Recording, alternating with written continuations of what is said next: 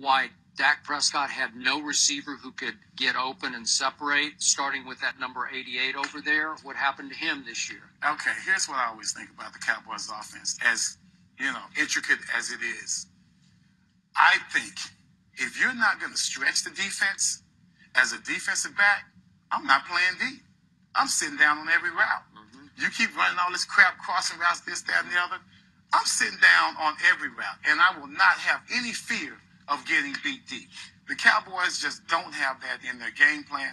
I don't know why, because as far as I'm concerned, if you're going to open up the game plan, then you have to give me the fear that I'm going to be beat deep. And I just, I never saw that in the game plan. Except for Brice Butler occasionally. Man, and they they rarely played him.